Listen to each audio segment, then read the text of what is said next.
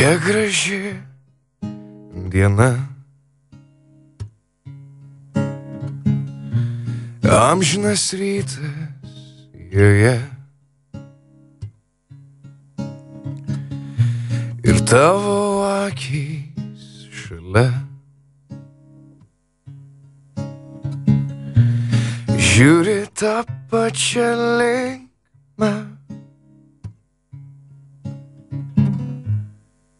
Ir aš būsiu čia. Prie tavęs šalia. Nes tik tu gali.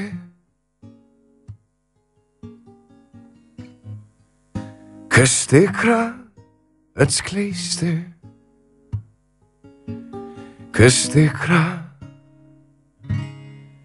Kas tikra. Kas tikra. Kas tikra. Kas tikra. Kas tikra.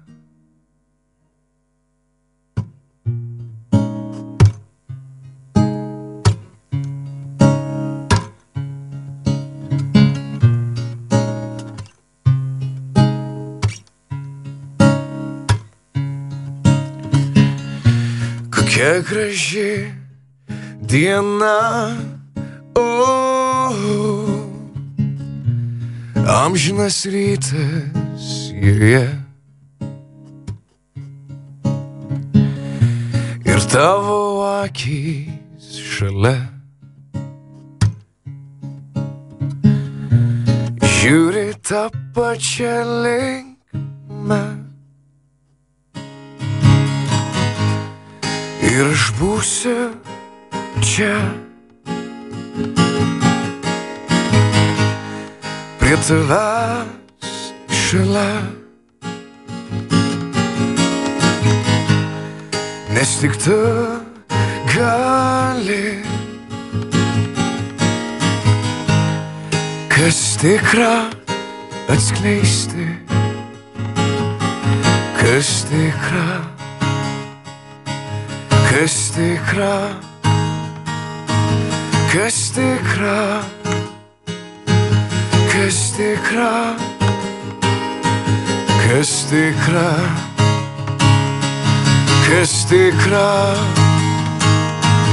kas tikra. Bravo, štai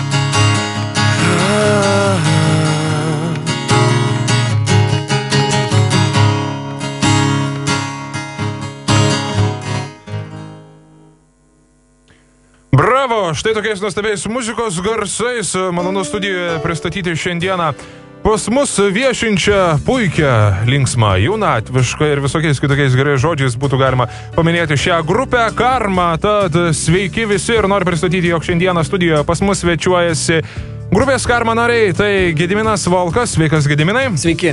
Kazimieras Likša, sveikas. Sveiki. Ir žavioji Jeva Vaišnoraitė. Labas, Jeva. Labą, labą. Taigi, kaip atvykote, žinau, kad keliavote ilgai ir tikiuosi nenubodžiai iš pats sostinės. Nu, kaip čia tau pasakius, kelias buvo geras, tas metai nėra Lenkijos keliai važiuojant iki šių, tai, tai, tai viskas buvo gerai. Turėjom Smagu gerą vairuotoją, jisai moka laiku stabdyti, ta prasme, tai viskas gerai. Super. Na kągi, tad pradėkime nuo ištako. Kaipgi ir kieno iniciatyva susibūrėte? A, tai kažkaip, kadangi buvau būtent tas žmogus, ta prasme, kuris e, seniai turėjo tą viziją turėti grupę ir a, vos tik baigiau mokyklą, aš pradėjau, pradėjau burti žmonės į vieną ratą, tai prasme, mes su Jėva tuo metu mokyklai, iki to laiko, kol, kol baigė mokyklą, aš dar du metus į mokyklą su Jėva grojame, mes kažkaip tai ir kažkaip tada Jėvai pasiūliau toliau muzikuoti ir jinai va, labai džiugiuosi, kad sutiko ir mes va, dabar esame čia po trijų metų toliau grojame. Va, o kiti žmonės irgi savo laiku atėjo, dabar yra po trijų metų, daugiau negu trijų metų nustovėjęs grupės sąstatas, ta prasme, ir e, groju kartu su dėja dabar čia jau nėra studijai, nes išvažiavo tikriausiai ieškoti valgyti kažkur tai vargšai nabagai. Uh, tai va kartu grojo dar Danas Rumila, tai bosinė gitara, Tomas Musteikis iš Šiaulių, beje, tai yra būgnininkas mūsų ir Laurinas Kindelis gitara. Mhm, aišku. Na ir tikriausiai daugelis jūsų klausia, na kodėlgi karma? Tad pasakyk, kodėl? Uh, iš pradžių, tai kai, kai man buvo kažkokie 14-15 metų, kai dar sakau, dar net negrojau gitarą, nieko iš viso neturėjau supratimo, kas tai yra muzika. Aš tiesiog svajojau turėti grupę ir aš kažkaip tai va taip vienu metu kilo žodis karma. Aš galvojau, kad, va, kad turėsiu grupę, aš nuėsiu pavadinti ją karma ir a, po to, kai jau subūriau tos žmonės visus kartu į vieną vietą, aš tiesiog pasiūliau ir tas žodis visiems labai tiko ir prilipo. Ir, ir iš pradžių tai buvo tik tai žodis. Tai buvo tiesiog paprastas, ne, ne tai kad paprastas, bet trumpas žodis ir visiems, pasme, bent kažkiek tai suprantamas.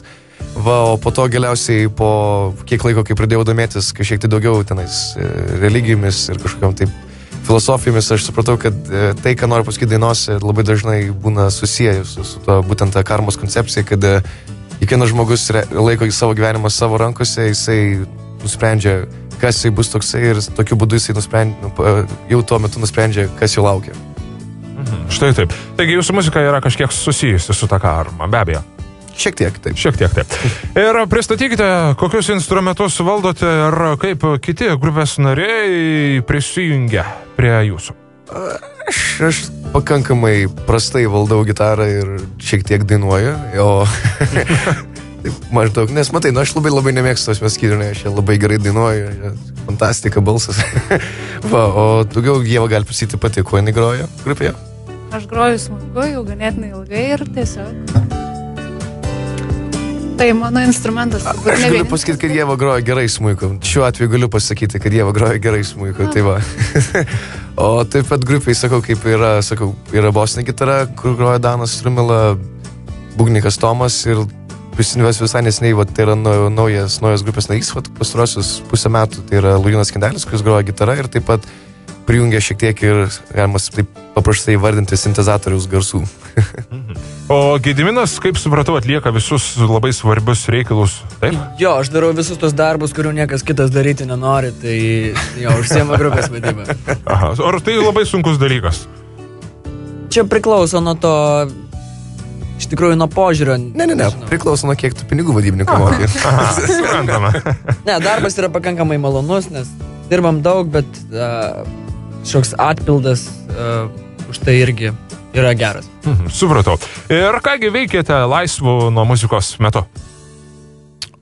Tiesiog aš, aš labai taip paprastai pasakius, aš žinau, kad muzika užima mūsų, bent jau nežinau, mano gyvenime, aš nenoriu kalbėti už kitus, aš žinau, tai užima labai didelę dalį. Ir galim sakyti netgi pagrindinę dalį mano gyvenime, bet e, tuo niekas nesibaigia, tas metus tiesiog kiekvienas dar šalia to kūrė kažkokį tai savo asmenį gyvenimą ten. Šiaip aš sakyčiau, kad šitoje grupėje to laisvo nuo muzikos laiko jo nelabai ir belieka. Na, yra žmonių, kurie laisvo nuo muzikos metu vaikus augina. Ir... Nerodysim pirštais, nes negalime, nes nėra jų studijai. Šiaip jo, tai atima daug laiko, daug darbo daug pastangų. Ir viso ko kito be abejo. Bet lieka laiko išeiti į mišką arba bent pamiegoti naktį. Taip. Nu, man naktį tai nesimiega. Nesimiega. Aš tai dažniausiai darau nesąmonę visokius. Skaitai, skaitinėjau kažką. Mhm. ir beje, muzikos negalima pavadinti darbu, manyčiau, nes tai yra ta pati pramoga ir tas pats laisvalaikis. Netgi sakyčiau, tai yra laisvas laikas nuo viso kito. Taigi nesate tie, kurie tiesiog daro, aha, mums reikia padaryti, nieko nežinau, mums reikia dirbti, bet tiesiog viskas čia sklinda ir plūsta taip laisvai, lengvai, taip su malonumu, ar ne? Užplūsta muzika Užplūsta. ir geras. Čia aš taip sakau. Jums dabar reikia padaryti. Ta, čia, čia. Jisai visą laiką taip labai laiku, vis, mes visą laiką, visą laiką laukiam, kada Gedimas ateitų ir pasakytų, dabar Hebra daro tą ir tą, jo, kaip fainas, smagu, gerai girdėti Gedimai. Ieva, esi vienintelė mergina grupėje. Kaip jautiesi grodama tarp tiek vyro? Ar nedreba stygos, stygos smuiko? Kaip ten yra? O kaip gali jaustis vienintelė mergina tarp tiek vaikinų? Pagerbta? Puikiai, puikiai, nuostabiai. Nu, tiesą sakant, ir geriau grojas, ir viską, nes mėgstu dėmesį. O dėmesio netrūksta, taip? Dėmesio netrūksta tikrai. Mm, viskas aišku, na kągi. Labai malonu bendrauti su jumis, kągi pasiklausykime dabar šiek tiek muzikos ir po muzikinės pertraukos vėlgi sugrįšime ir pratęsime pokalbę su jumis. Pokalbis su dienos svečiu.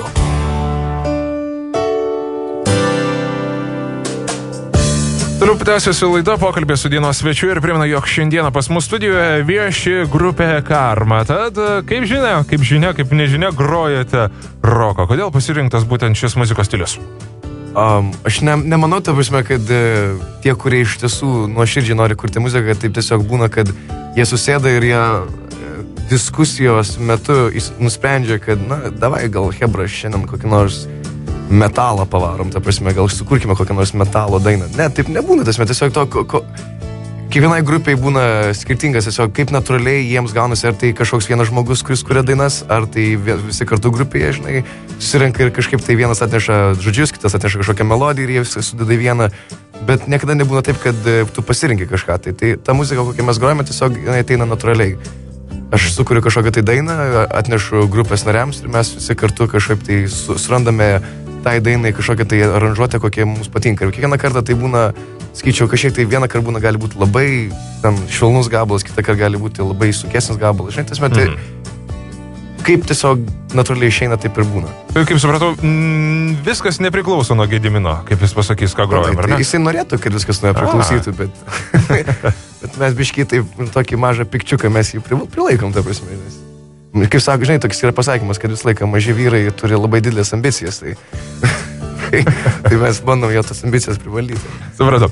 Ir kaip žinia, įvairios grupės turi kažkokius savo talismanus. Vieniem talismanas yra merginos, kitiem dievas, kitiem neįsivaizduoju, kas alus ar, ar dar koks dalykas. Koksgi jūsų talismanas? Galbūt tai Jėva? Ar kas? Ne, tai kad Dieva yra kažkas ypatingo, tai čia net nėra abejonė, žinai, bet nežinau, gediminai, mes turim kokį talismaną. Aš manau, kad uh, mūsų autobusiukas yra mūsų talismanas. Iš tikrųjų, tas transportas, kuriuo mes šiandien atvažiavam, jis yra labai smarkiai supuvęs, bet vis dar važiuoja. Buvo toks, uh, mes turėjom koncertą Punskė prieš uh, kokį gerą mėnesį, ar, ar truputį seniau. Mes atvažiavam, išsikrovėm instrumentus, ateina garsistas ir sako, nu jūs keisti žmonės. Sakau, kodėl? Sako, ta gitara ant scenos yra brangesnė negu ta mašina, su kuria jūs atvažiavote. Neblogas talismanas, ką, ką be galima ir pasakyti. O kalbant apie grupės, kurios galbūt, galbūt padarė įtaką jums, ar yra tokios grupės, tiek, tarkim, pasaulinio garso, tiek Lietuvos scenos grupės?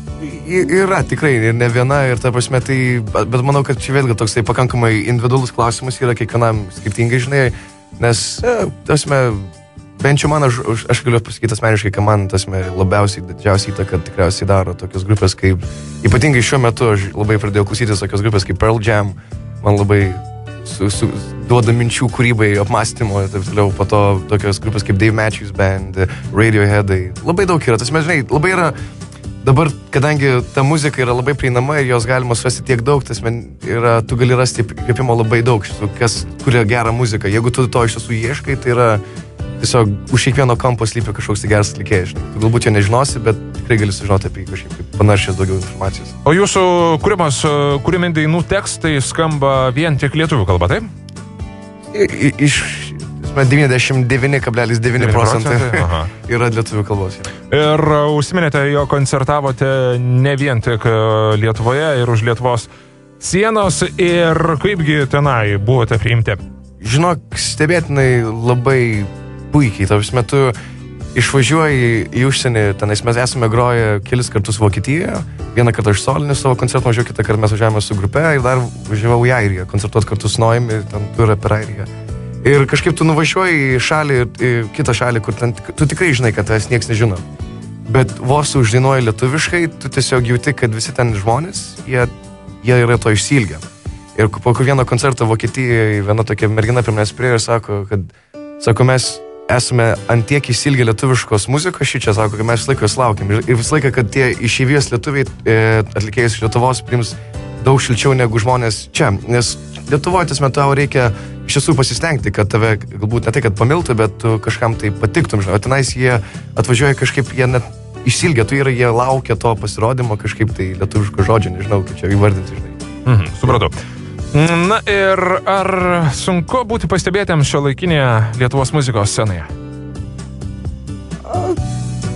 Čia, matai, tasme, aš, aš visą laiką taip galvoju, man sakai, būna labai liūdna, kai grupė, žinai, pradeda Lietuvoje kažką tai daryti, kurti muziką ir nepraeina du mėnesiai ir jie sako, kad tai yra neįmanoma. Tiesiog tai yra labai gerai vieną kartą Gediminas yra pasakęs, kad tai stebuklų čia nėra. Ta prasme, jeigu tu, jeigu tu nori kažką tai padaryti, tas metu tiesiog tu tai žinai ir tu to sėki. Ir tai yra, turi turėti kažkokį tai pakankamai tiks, tikslę viziją ir tiesiog tai yra nusekl, nuseklus darbai, sekantis vienas po kito ir po to galiausiai tu prieini prie rezultato kažkokį tai. Ir tiesiog tie žmonės, kurie kažkaip savo, kad galbūt tenais nepakanka dėmesio, ar tenais negalima prasimušti, ar kad kažkam nėra įdomu, tikriausiai kažkuo tai metu pasidavė, gal jiems labiau patiko užsi, užsi, užsi, užsidaryti savo vietą, prasme, ir nepabandė nepaban, dėti daugiau kažkokių tai pastangų, bet iš tiesų tai Gedminas tai galėtų daugiau pasakyti iš tokios vadybinės pusės. Ne, aš tai tiesiog manau, kad uh, ta niša, jinai yra, jinai egzistuoja. Aš tikrai manau, kad visada atsiras vietos kažkokiai grupiai jaunai, su pozicija, uh, su lietuviškais tekstais, aš tiesą pasakius, tuo, tuo tikiu.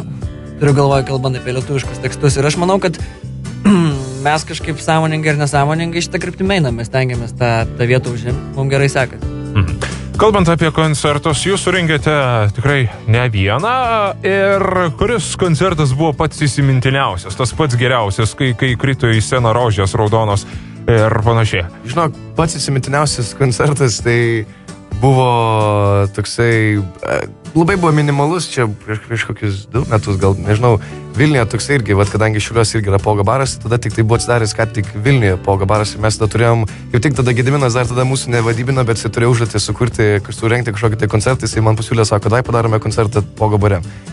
Ir mes tada nieko nesitikėjom, tai buvo pirmas e, koncertas po ilgo laiko, kada mes turėjom savo grinai solinį koncertą. Ir tai buvo pirmasis koncertas, kuomet e, visa salė dainavo mūsų vieną dainą, ta prasme visi kartu. Man net nereikėjo dainuoti, bet visi surinkę žmonės dainavo. Ir tai buvo pirmas toksai koncertas ir tada buvo man labai... Tai yra, buvo įsimintiniausia akimirka, nes laiką buvo įdomu. O dabar Gediminas, kadangi visą laiką labai nori įsiterpti. Ir nuo lubų ir prisiklausyti. Prakaito kondensato lietuvis. Aišku, o kalbant apie kitąją pusę, koks buvo pats toks, kurio nebenorėtume daugiau pakartoti? Ar nebuvo tokių, gal apskritai, gal tiesiog einat visur jums gerai, fantastika ir panašiai?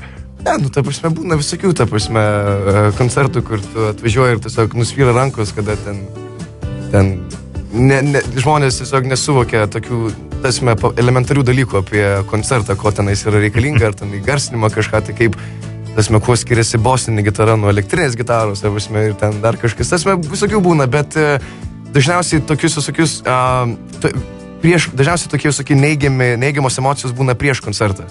Bet kai tu pradedi koncertuoti ir susirenka žmonės ir tu tiesiog e, su jais praleidai gerai laiką, tada tos uh, koncerto emocijos nu, nurungia tas visas blogas emocijas, kas yra prieš koncertą. Todėl kiekvienas koncertas yra savotiškai ypatingas. Mhm.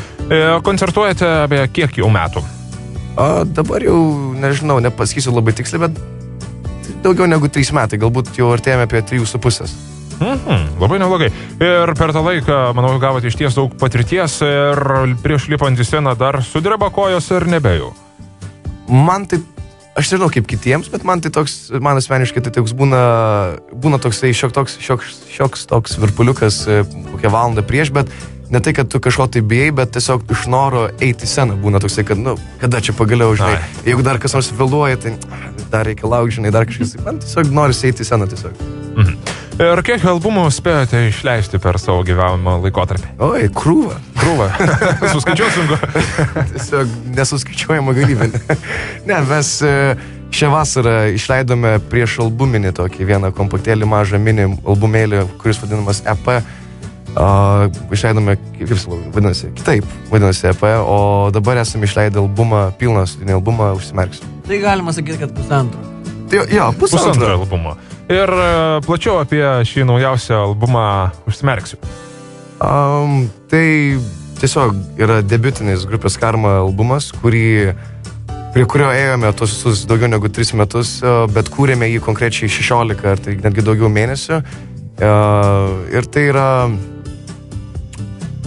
tiesiog albumas, kuris įprasmina visus tuos tris grupės gyvavimo metus ir, ir surinktos dainos, kurios uh, buvo vienu ar kitu metu grojamos per tą laikotarpį. Ir, uh, nežinau, Gediminai, gal tu plačiau pasako, nes man čia Jo, aš pridurčiau nuo tai. savęs, iš tikrųjų, kad tai yra, na, mes googlinom, bandėm rasti informacijos, bet tai yra pirmas toks albumas Lietuvoje, tokio tipo laikmena, turiu galvoj.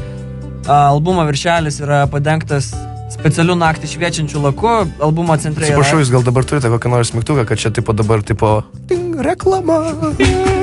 albumo, albumo centre yra akis. Ne, iš tikrųjų, darbas atrodo pakankamai efektingai. Prasme, dienos metu tas albumo viršelis įsikrauna saulės šviesos ir šilumos ir naktį ta akis užsimerkia ir šviečia mėlyna šviesa, tai tuo labai smarkiai didžiuojamės.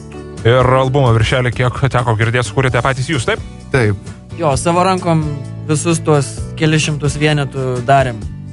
Nes, a, na, prasme, gamykliniu pramoniniu būdu buvo labai sudėtinga techniškai tai gyveninti ir tai kainavo labai daug pinigų. Tiesiog nusprendėm šiek tiek kitų kelių. Mhm.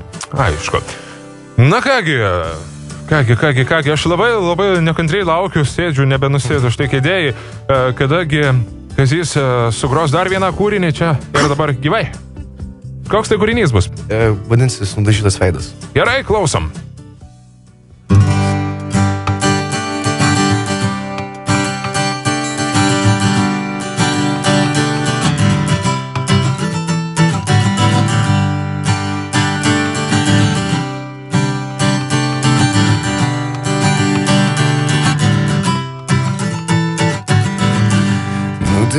Nudažytas veidas spalvomis. Paslėpė tavo akis.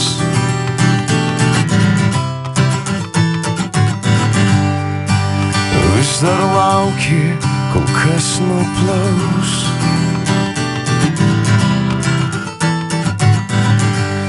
Nors tau reikėjo tik lietaus.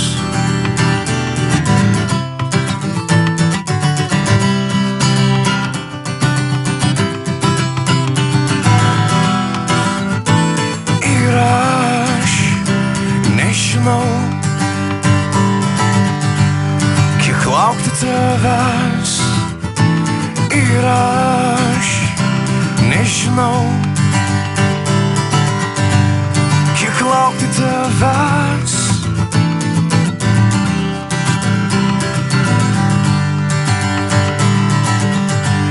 Kiek laukti tavęs. Aplankiai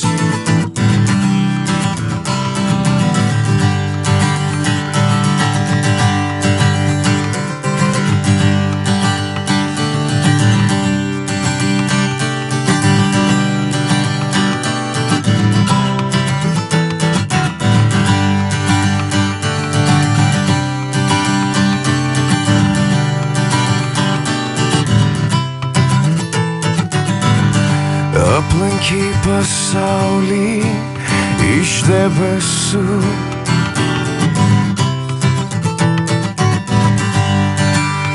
Netikėjai sulaukančių.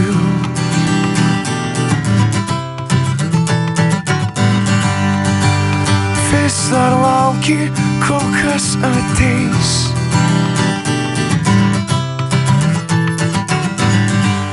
Nors tau reikėjo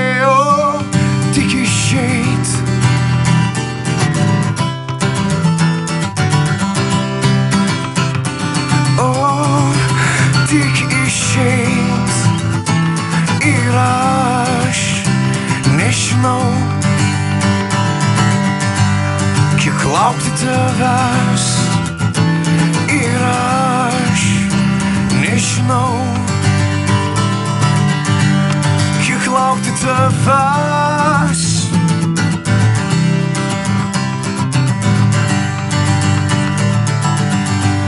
Kiek laukti tavęs.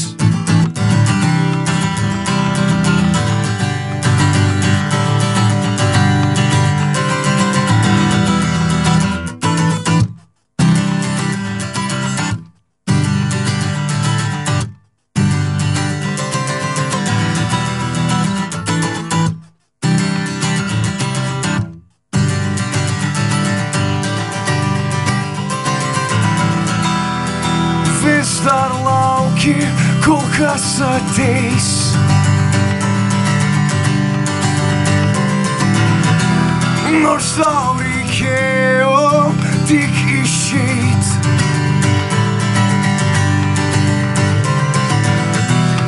Ir vis dar lauki, kol kas nuplaus.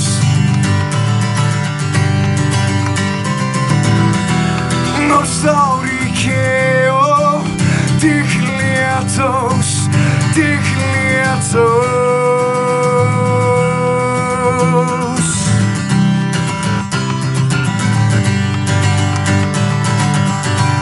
Kiek laukti tavęs?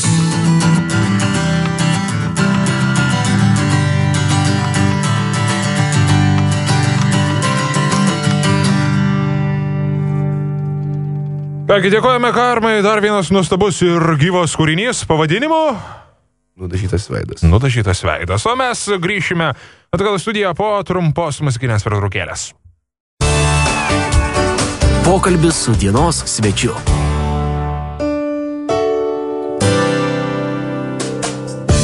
Kaip būtų gaila, mūsų laida baigėsi, bet su Aha. nieko, dar, dar pak- pakalbėsim ir padainuosim, ar ne? Taip. Aš manau. Būtų gaila.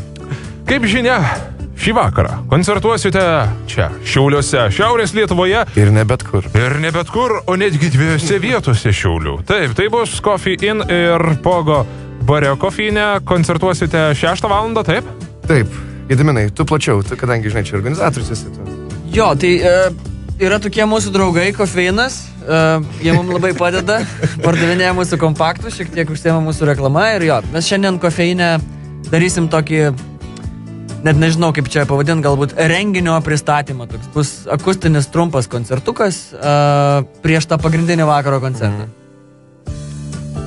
Ir po to, pailsėję, pavalgę, atsigėrę kavos, keliausite į Pogo barą, taip? Uh, pasistatę instrumentus ir garsą susiderinę. Svarbiausia, jo, keliausime pogo barą. Kai pastatysim instrumentus, tada darysim. Na, iš tikrųjų, jo. Da, taip, keliausime į pogo barą. Pogo bare šį vakarą koncertas prasideda 11 val. vakaro. Tai net nežinau, ką čia dar reikėtų pridurti, be abejo, visų labai laukiam. Labai laukiat, gal pažadotas. Pri, prisižadėkit ko nors, kad būtų kažką įvykdyti. Labai, labai baisu yra prisižadėta, prasme, žinai. Tiesiog aš, aš labai mėgstu sakyti, kad tiesiog uh, ateikite į koncertą ir susipažinkite su mumis, susipažink- susipažinkite su tą muziką, kurią mes kūrėme ir tiesiog visi kartu pleisime gerai laiką. Ir tai geriausia, ką galime pažadėti mes. Mhm, Labai gerai turėsim omeny tai ir pažiūrėsim, ar įvykdysit. Tai ką prisižadėjo dabar, kaip sakant, taip. Gerai. Kokį, kokį juoką numesiu koncertų metu. Gerai, būtinai. Na ir e, kągi, kokie jūsų ateities planai? E, Planuojate kepti ir toliau albumus, galbūt, ar dar ką nors sugalvoti? Kokie tolimesni planai gali būti muzikinės grupės? Tai yra tiesiog pagrindė tai yra kūryba, tai yra toliau kūrimas naujos programos, kažkokių tai naujų dainų ir uh, žiūrėjimas į ateitį, ta prasme, vėlgi, tai aišku, kad bus muzikiniai, muzikiniai kažkokie tai albumai, bet tokie pakankamai tikslus planai jau yra kažkokie, tai mes me- planuojame, ta prasme, tiek klipai, turai, bet vėlgi aš norėčiau, kad apie tai pakalbėtų daugiau mūsų vadybininkas Gediminas. Yra mūsų seni draugai, e, partneriai tokia organizacija Bugeras, kuri užsiema labai gražiais darbais. Jis iš esmės drąsina žmonės ir ieško ir sudarinėja kaulų čiulpų donorų bazės. Ir, na, ta mūsų muzika jau ne pirmus metus yra jų toksai garso takelis ir uh, mes šiais metais esam sutarę, apsisprendę, kad jie dabar prieš kalėdas e, vėl darys savo socialinę akciją ir uh, mes filmuosim videoklipą. Mes jiem dovanojam savo dainą Mano kambarys, uh, kurią Kazimieras, na, būtent parašė apie tuos žmonės, kuriem jie stengiasi padėti. Ir jo, tas artimiausias toks stambus planas tai bus videoklipas su Bugeras organizacija. Mhm. Supratau, tai planų yra. Gerai. Labai gerai. Na ir ką, paskutinysis tradicinis klausimas jums, brangiai, kogi palinkėtumėte kiekvienas asmeniškai radio stoties RSD klausytojams? Aš palinkėčiau niekada nebijoti savęs ieškoti, niekada nebijoti suklysti, nes tik per klaidas mes atrandame tai, kas mes iš tiesų esame. Labai neblogai. Ačiū. O aš norėčiau palinkėti, kad kiekvieną dieną sutiktumėte su muzika, nes atsikelti su muzika yra nuostabu, užmigti taip pat ir bent jau aš tai pradėjau savo dieną ir jinai yra gera. Um, nuo savęs turbūt pridurčiau, kad uh, daug dirbti. Pinigai, pinigai. Ne, tiesiog Tiesiog, aš nežinau, dabar tokia yra keista stagnacija visuomeniai įsivyravus. Žiūrint ir rinkimų rezultatus, žmonės laukia, kol kažkas ateis, jiems sutvarkys gyvenimą, kažką duos, uh, pakels minimalę algą. Tai, tai nėra teisingas kelias, kuriuo reikia eiti. Min, didesnė min, minimali alga nėra, nėra pagrindinis siekis, aš manau, gyvenime. Reikėtų tiesiog daugiau dirbti, stengtis ir nelaukti, jums kažkas kažką duos. Pasimkite tai patys. Teisingai. Ačiū labai už, už protingus, labai gerus palinkėjimus. Na ir kągi, paskutinioji maestro Kazimiero daina. Taip. Teisingai. Kurie kaip tik, vat, kaip ir Gedinas kalbėjo, tai yra ta daina, kuri vadinasi mano kambarys. Gerai, pasiklausom.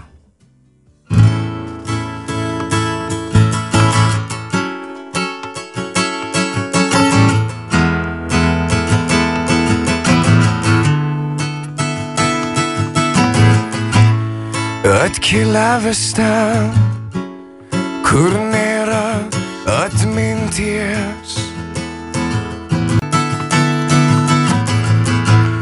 Aš ir ten likau lygiai toks pats.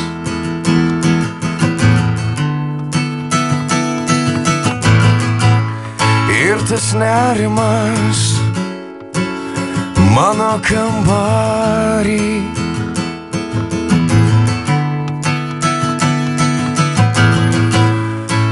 kuriam nesinori likti ateitį.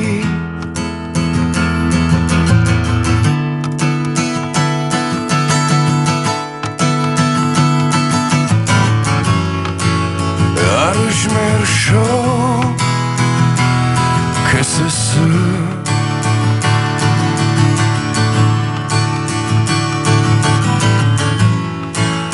Ar vaidinau apsimetęs kitų?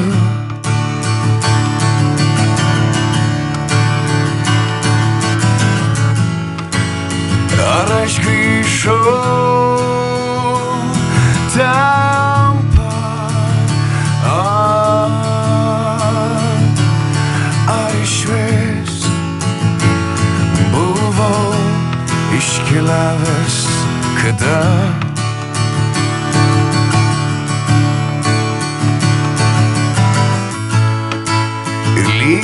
Šešėlis menulio šviesoj.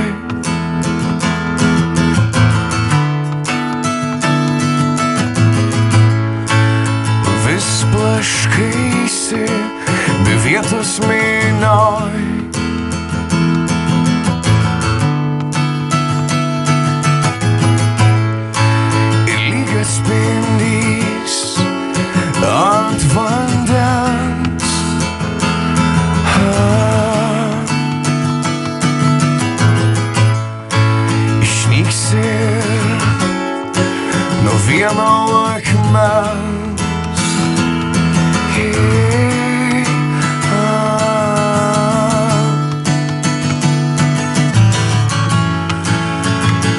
Ar užmiršau,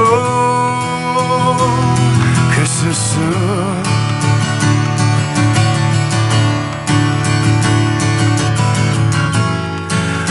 Ar vaidinau apsimetęs kitur? Ar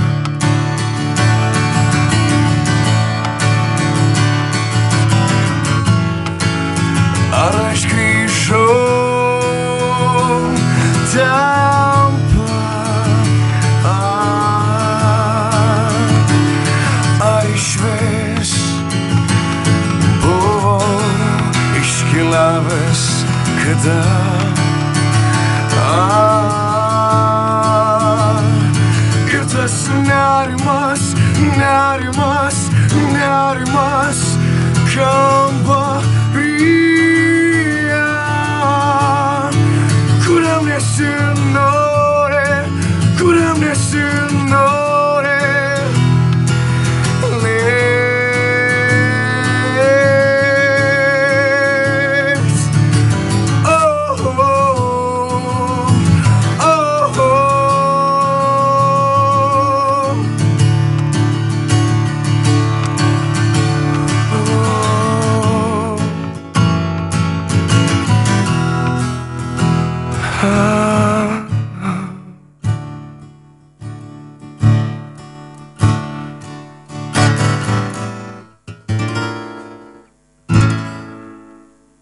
Ačiū, čia buvo Karma gyvai ir šiandieną pas mūsų laidoje svečiavosi grupės Karma nariai, tai Gediminas Volkas, Kazimiras Likša ir Ieva Vaišnaraitė.